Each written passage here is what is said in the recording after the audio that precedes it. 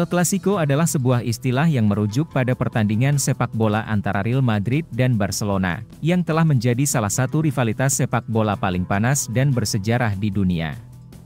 Ketika mendengar kata ini, banyak orang akan terbersit rivalitas pertandingan keras, duel penuh gengsi, dan keberadaan bintang-bintang di kedua tim.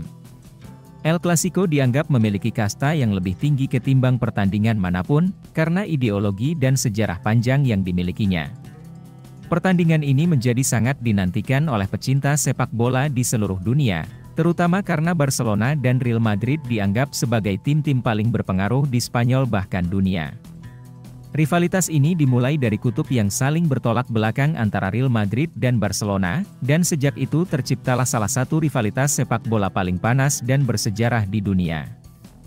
Pertama, mari kita mundur jauh ke awal abad 19 ketika El Clasico pertama yang tercatat sejarah berlangsung pada tahun 1902. Saat itu, Barcelona dan Real Madrid bertemu di turnamen negeri Matador yang bernama Copa de la Coronation. Turnamen tersebut digelar untuk menghormati pengangkatan Raja Alfonso XIII yang memimpin kerajaan Spanyol kala itu.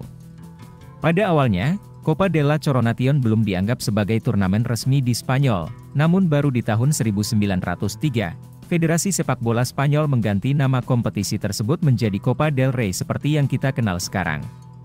Pada ajang Copa del Rey tahun 1902, Barcelona dan Real Madrid bertanding di Hipodromo dan Blaugrana berhasil mengalahkan Los Blancos dengan skor 3-1, sehingga laga tersebut tercatat sebagai pertemuan pertama sepanjang sejarah kedua tim raksasa di Spanyol.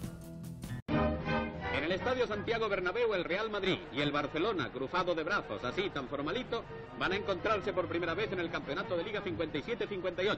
El juez de la contienda, sin cara de juez, como puede verse, sortea los terrenos. Ha ganado usted, señor Segarra. Por lo tanto, es el Madrid el que pone en funcionamiento la bolita.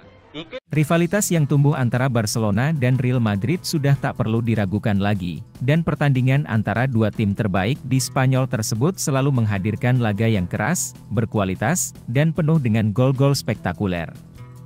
El Clasico merupakan salah satu laga terbesar dalam sejarah olahraga, berkat ketatnya catatan rekor yang dimiliki oleh kedua kesebelasan dalam melakoni deretan kompetisi yang mereka mainkan. Real Madrid memiliki logo yang sangat khas dengan mahkota gagah di atasnya. Logo tersebut memiliki sejarah dan simbolisme yang cukup dalam, karena kata "real" sendiri dalam bahasa Spanyol berarti mahkota, dan mahkota tersebut secara simbolis diberikan oleh Raja Alfonso XIII, pemimpin Spanyol pada saat itu.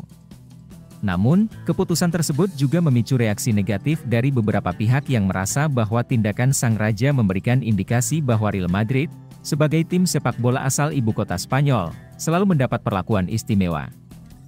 Hal ini menyebabkan tim ini sering menjadi sasaran kecemburuan sosial yang kemudian memicu rivalitas dengan klub sepak bola lain seperti Barcelona. Rivalitas antara kedua klub ini dikatakan bermula pada pertemuan keempat mereka di turnamen yang sama, di mana Madrid memenangkan pertandingan dengan satu gol kontroversial. Duel pertama mereka di ajang La Liga kemudian terjadi pada tanggal 17 Februari 1929, di mana Real Madrid berhasil meraih 3 poin. Pada rentang waktu 1937 hingga 1939, Spanyol dilanda perang saudara yang mengakibatkan tidak adanya kompetisi resmi yang berlangsung di negara Matador. Situasi ini memaksa Real Madrid dan Barcelona untuk menunda kelanjutan rivalitas mereka. Namun, perang tersebut justru semakin memperpanas persaingan di antara kedua tim dari tahun ke tahun. Selain terjadi di lapangan, persaingan antara Real Madrid dan Barcelona juga terjadi di bursa transfer pemain bintang, yang menjadi ajang untuk membuktikan siapa yang lebih berkuasa di Spanyol. Drama rivalitas yang syarat akan gengsi antara Blaugrana dan Los Blancos masih terus berlangsung hingga saat ini dan diprediksi akan terus bergulir hingga beberapa tahun ke depan. Dalam catatan pertemuan hingga bulan Oktober 2021, Real Madrid berhasil mengumpulkan 96 kemenangan sementara Barcelona hanya mampu meraih 86 kemenangan. Terkait dengan jumlah gol yang dicetak, Real Madrid juga berhasil unggul dengan mencetak 369 gol sedangkan Barcelona hanya mampu mencetak 360 gol. Meskipun saat ini kedua tim tidak lagi diperkuat oleh pemain-pemain kelas dunia seperti Ronaldo, Messi, Sergio Ramos, Pepe, Iniesta, dan Xavi yang membuat pertandingan semakin spektakuler. Pertandingan El Clasico selalu dinanti-nanti oleh para penggemarnya.